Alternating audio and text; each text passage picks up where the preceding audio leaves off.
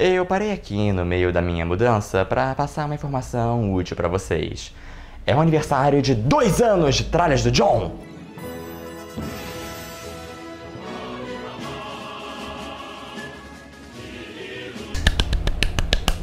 E, como vocês lembram, ano passado eu prometi a minha análise da coisa que eu mais amo nesse mundo, Watchmen. Descascando cada camada da HQ em um mega especial em 12 partes. Então, é, não vai rolar. Pelo menos não esse ano. Foi mal. Mas nem tudo está perdido, então, por falar em eventos decepcionantes calcados em cima do legado de Watchmen, vamos falar sobre antes de Watchmen. Depois que a HQ do Alan Moore fez um impacto meteórico nos quadrinhos em 1986, a DC logo planejou como ela poderia capitalizar em cima da marca. Vários projetos foram contemplados e, a princípio, o próprio Alan Moore parecia até de boa em seguir em frente com alguns, mas nenhum acabou indo pra frente. Por fim, o velho barbudo decidiu que ele não queria que o universo de Watchmen fosse explorado e que a HQ fosse mantida imaculada. E como respeito aos desejos do autor, a DC concordou. Então, quanto tempo demora para o dinheiro falar mais alto que a ética? 26 anos para ser exato. Em 2012, a DC anunciou Antes de Watchmen, uma coletânea de minisséries que exploraria mais o passado dos personagens da HQ antes dos eventos principais da trama. Agora, para ser justo, a maioria das HQs do Antes de Watchmen não são objetivamente ruins. Elas não são mal escritas ou mal desenhadas ou executadas de forma incompetente. Elas só são completamente dispensáveis. O lance é que Watchmen não só é uma HQ completamente autocontida, mas ela também tira o máximo de proveito da própria mitologia. Toda a história desse mundo alternativo é contada meticulosamente. O passado e motivação dos personagens é completamente descascado ao ponto que você tem um entendimento completo de quem eles são. Para colocar de forma simples, Watchmen já cobre o que acontece antes de Watchmen. As minisséries estão desesperadamente procurando por alguma brecha, algum resquício de história ainda não contada, ou pelo menos não aprofundada, que eles possam espremer e publicar. Era simplesmente óbvio demais que isso foi feito mais por ganância do que a necessidade de contar uma história. Se você quer uma HQ que explora o legado de Watchmen de forma menos óbvia e que adiciona mais à mesa, dá uma olhada em Pax Americana, uma das edições de multiversidade do Grant Morrison, onde ele dá sua própria visão dos conceitos de Watchmen de forma muito original. Mas de volta antes de Watchmen, alguma dessas minisséries conseguiu se destacar e tornar a experiência de Watchmen genuinamente mais rica? Acho que pelo menos uma. Vamos falar sobre Antes de Watchmen, Doutor Manhattan, escrita pelo J. Michael Straczynski. Como eu já estabeleci antes, Watchmen é uma das coisas mais lindas do universo. E entre tantos excelentes personagens que ele apresenta, acho que nenhum é tão complexo e interessante como o Dr. Manhattan. Quando o físico John Osterman se mete em um típico acidente de origem de super-herói, ele se transforma em um dos seres mais concebivelmente poderosos possíveis, capaz de enxergar e manipular as estruturas subatômicas ao seu bel prazer. Então ele basicamente tem o poder de fazer tudo. O que levanta muitas questões políticas, humanas, existenciais, metafísicas e de atentado ao pudor. O impacto que a sua existência causa ao mundo é quase tão interessante quanto a forma que ele o percebe. É um personagem tão bom que não fica devendo nada aos grandes romances de ficção científica. Inclusive, é engraçado, mas ele é a maior influência do porquê eu uso o nome John. O que? Você achava que era por causa desse cara? Ok, na verdade, alguns amigos meus já me chamavam de John há muito tempo, porque. Não precisa de muita criatividade para isso. E eu gostei, três letras, uma vogal sanduichada por duas consoantes, eu achei que tinha um equilíbrio meio harmônico. Mas isso não tem muito a ver com o assunto, vamos falar da HQ. A história é contada nos moldes do quarto capítulo de Watchmen, aquele que conta a origem do Dr. Manhattan. Como é pela perspectiva do John, ela se passa em todos os tempos possíveis e não segue nenhuma ordem cronológica, apenas a linha de raciocínio dele. Em determinado ou em indeterminado momento, John tá sem o que fazer, coçando seu saco azul, quando ele decide ver o que acontece se ele tentar projetar sua consciência para antes do acidente que o transformou no Dr. Manhattan. Ele fica lá observando seu antigo eu enquanto ele vai buscar o seu jaleco e relógio momentos antes de ser desintegrado. Ele vai até a câmara de campo intrínseco, pega o relógio e vai embora. Ops! A partir daí, a vida do John segue em frente. Ele continua com seu trabalho, se casa com sua namorada, Jenny Slater, vira professor, etc. E enquanto o Dr. Manhattan continua observando a sua vida hipotética, ela continua se dividindo em várias possibilidades a partir de cada pequena escolha sua. Em um mundo, o Kennedy recruta o Ozymandias como um dos seus assessores durante a crise dos mísseis em Cuba, e tudo é resolvido diplomaticamente. E em outro, o comediante é que é recrutado e. O que vocês achavam que ia acontecer? Pequenas escolhas fragmentando o mundo em infinitas possibilidades. Ok, eu gostaria de interromper a história um pouquinho para perguntar que porra tá acontecendo? Vocês parecem gostar quando eu falo de filosofia aqui no canal, e eu também gosto, mas dessa vez vamos ter que falar de um negócio um pouco diferente. Dessa vez vamos falar de física. Física quântica. Merda. Eu sou realmente péssimo em exatas. Eu mal conseguia me virar no colégio. Imagina então quando se trata de um negócio tão complicado quanto mecânica quântica. Mais um conceito que até noobs como eu estão familiarizados é o do gato de Schrödinger. Trata de um experimento mental que foi desenvolvido pelo físico austríaco Erwin Schrödinger em 1935. Ele segue mais ou menos assim. Imagina que você pega um gato e coloca ele dentro de uma caixa, junto de uma cápsula de gás venenoso, com 50% de chance de ceder dentro de uma hora e matar o gato envenenado. Você fecha a caixa. Uma hora se passou. Então, como Brad Pitt diria, o que está na caixa? Um gato vivo ou um gato morto? Então, de acordo com Schrödinger, até nós abrirmos a caixa, o gato está simultaneamente vivo e morto.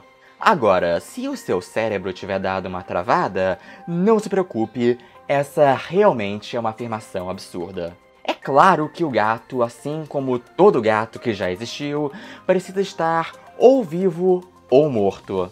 É o que nós vemos no nosso dia a dia com o nosso entendimento da boa e velha física clássica newtoniana, afinal. Mas um sistema na escala de um átomo não funciona assim. Ele se comporta de acordo com a física quântica.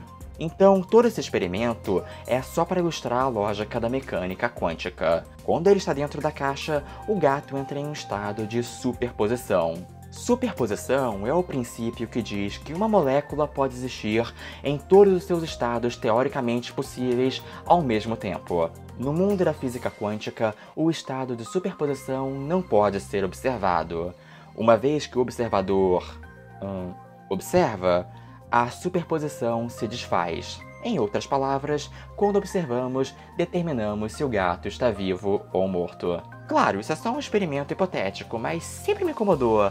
De todos os exemplos que o Schrödinger podia ter escolhido, ele escolhe justo o que envolve matar gatinhos? Você é um homem doente, Schrödinger. Doente, eu digo. Em todo caso, o tema do gato de Schrödinger se repete várias vezes ao longo da HQ. Sempre o John se depara com caixas e escolhas binárias do tipo, ou está ele próprio em uma caixa. Ela simboliza o potencial que todas as suas decisões têm de alterar o mundo ao seu redor. O John é o gato dentro de sua caixa, e ele, como o Dr. Manhattan, é o seu próprio observador quântico. Agora, o que o gato de Schrödinger ilustra é a interpretação de Copenhague da física quântica e como ela pode ser meio paradoxal. Existem várias outras interpretações que tentam resolver esse paradoxo. Uma das mais famosas é a interpretação de muitos mundos, originalmente desenvolvida por Hugh Everett. Ela propõe que, ao final de cada superposição, o universo se divide em dois, criando um mundo em que o gato está vivo e outro em que o gato está morto. E nós simplesmente calhamos de estar em um desses mundos. E o mesmo vale para cada ação tomada. O universo se divide para cada um dos seus possíveis resultados. É claro, é importante lembrar que essa não é a interpretação mais academicamente aceita, mas eu caguei e andei para isso. Mais importante que isso ser provável ou não, é o fato que isso é um conceito muito foda para ficção científica. Inclusive, talvez nenhuma mídia abraçou isso com tanto entusiasmo quanto os quadrinhos, porque vocês sabem o que isso significa, né? Multiverso! A DC, em especial, tem um caso de amor intenso, suado e obsceno com o conceito. Isso vem desde 1961, quando o Flash da Era de Prata encontrou o Flash da Era de Ouro. É uma boa explicação para contar histórias que não sejam cânone e justificar de forma diegética como esses personagens atemporais têm tantas versões, retcons, reboots e tudo mais acaba sendo um conceito menos físico e mais metalinguístico, mas a teoria é tão vasta e abre para possibilidades tão infinitas que, ei, por que não? Mas aqui em Antes de Watchmen, nós seguimos pelo lado mais científico. Mas afinal, como o Dr. Manhattan foi parar nessa situação? Vocês lembram em Watchmen daquela fatídica reunião dos super-heróis convocada pelo Capitão Metrópolis tentando formar os combatentes do crime? Isso foi quando John primeiro se encontrou com a Espectral e mais tarde eles saíram em patrulha juntos e. deu no que deu. O que acontece é que o John, safadinho, manipulou as probabilidades para ele ser sorteado como parceiro da Espectral, ao invés de acabar sendo escolhido com o Rorschach. Até porque ninguém merece ter que chavecar o Rorschach. O problema é que quando ele fez isso, ele não substituiu a linha temporal do Rorschach pela da Espectral. Ambas passaram a ser igualmente reais, e ele meio que rasgou a realidade em ambas as direções, passado e futuro, e se tornou um observador quântico no caminho, de forma que cada escolha tomada por ele em cada uma das linhas temporais fratura a realidade muitas e muitas vezes em ainda mais linhas do tempo. E não termina aí. O que rola é que em cada realidade criada, de uma forma ou outra, mais cedo ou mais tarde, elas acabam tendo o mesmo destino: Holocausto nuclear.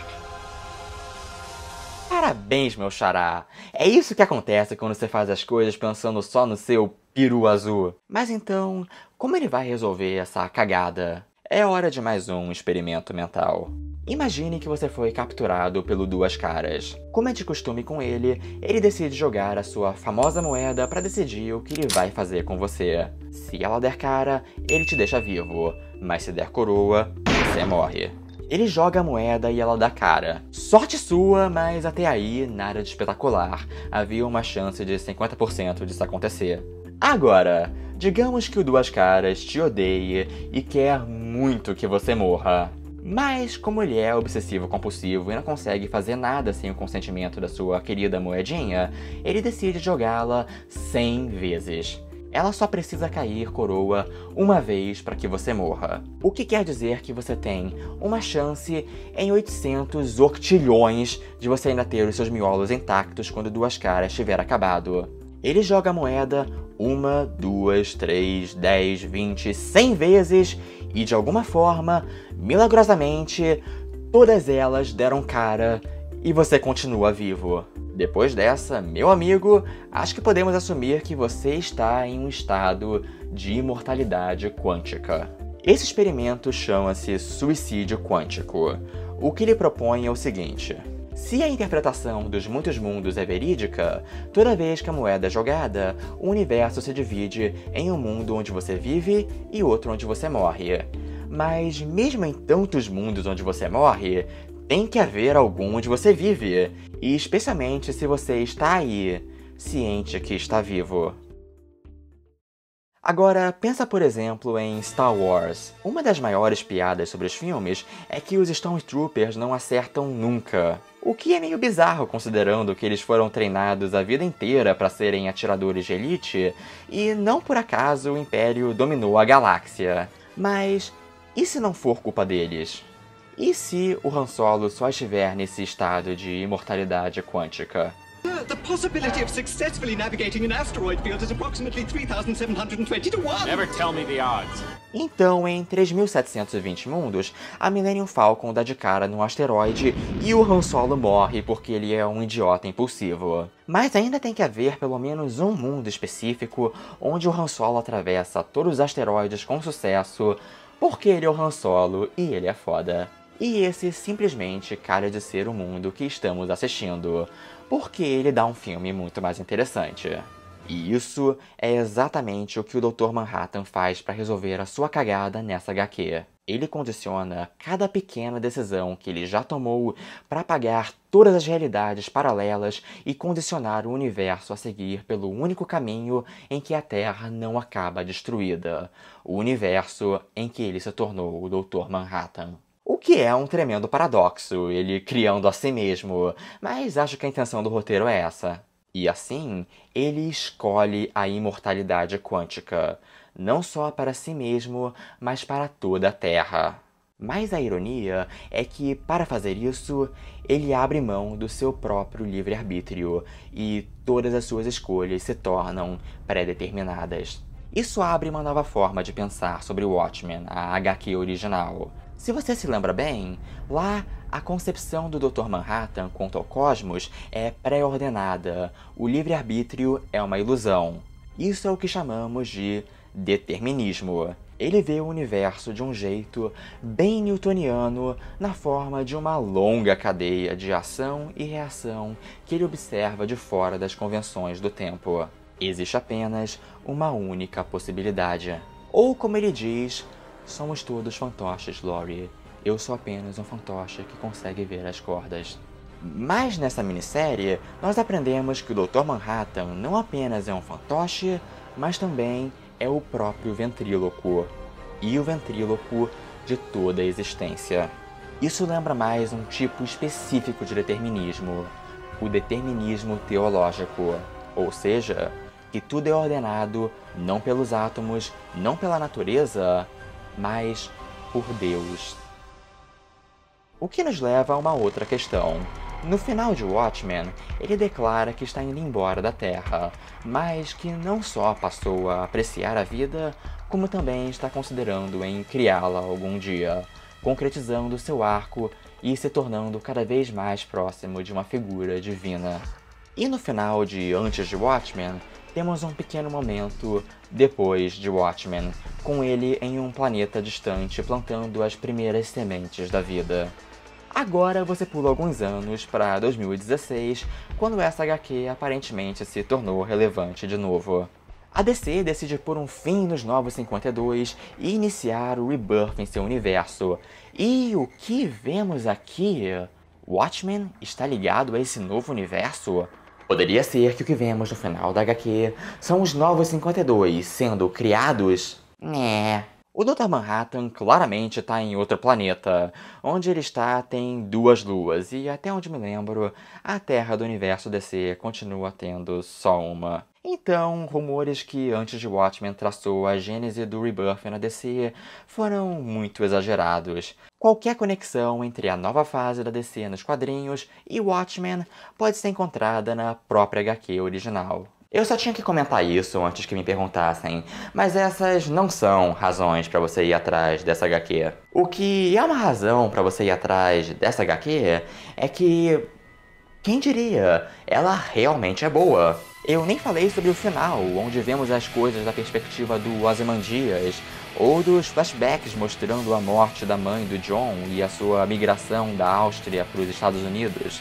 Porque aparentemente o super-homem existe e ele é naturalizado americano. Mas é, eu recomendo que você pegue essa HQ e cheque por você mesmo.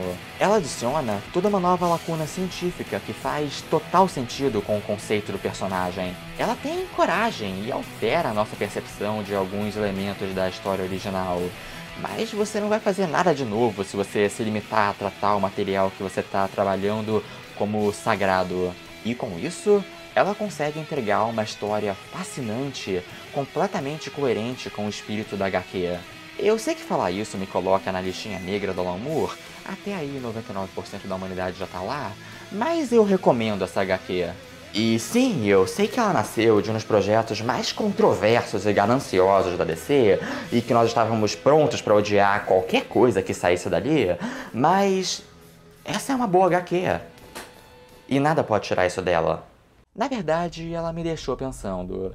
Se o John garante a imortalidade quântica do mundo, o que acontece quando ele vai embora e deixa a Terra para trás? as chances da moeda dar coroa voltam a ser as mesmas que elas sempre foram, meio a meio. Então, voltemos ao final icônico de Watchmen. O mundo foi salvo baseado em uma mentira. Mas existe a possibilidade do diário do Rorschach ser descoberto e arruinar tudo. Será? O que está na caixa? Um mundo vivo ou um mundo morto? Talvez seja um mundo vivo e morto.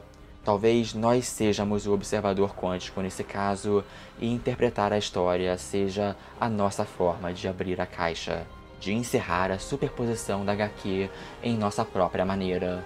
E essa é a beleza da HQ. Antes de Watchmen pode ter sido publicado, mas, como sempre, o que vem depois de Watchmen continua inteiramente em suas mãos.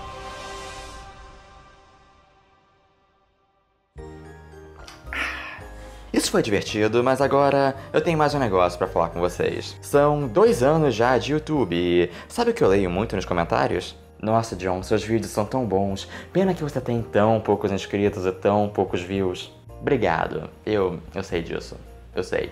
Mas então, esse é o tipo de vídeo que você quer ver se tornando viral e sendo feito com mais frequência, não só aqui, mas em todo o YouTube? Você pode ajudar isso. É o público que decide o que vai bombar. E você é o público. Tem um blog? Compartilha. Faz parte de grupos de Facebook de quadrinhos, ficção científica, o que seja? Compartilha. Tem amigos interessados no assunto? Compartilha para eles. Compartilha esse vídeo para todos os possivelmente interessados e todos que podem propagar mais. E escreve o que você achou do vídeo, por que ele vale a pena e por que você gostou. Quer dizer, eu espero que vocês tenham gostado. Eu fiz com o meu coração. E dito isso, é claro, eu aprecio muito todo o elogio e apoio que eu recebi de vocês durante todo esse tempo. Então, é sério, muito obrigado. Feliz Natal, seus doentes degenerados maravilhosos, e que o Trás do John e o Vício tenham muitos, muitos mais anos de vida. Eu tenho um milhão de ideias para um milhão de vídeos e eu vejo vocês na próxima. Até mais! E como sempre, vocês podem me seguir no Twitter, Instagram e no Facebook através da página do Vício. Agradecendo mais uma vez ao Caipira Benson por ter me enviado esses memes. Se você quiser me enviar alguma coisa do tipo, você pode me enviar para o e-mail na descrição. Vai, manda! Até a próxima, pessoal!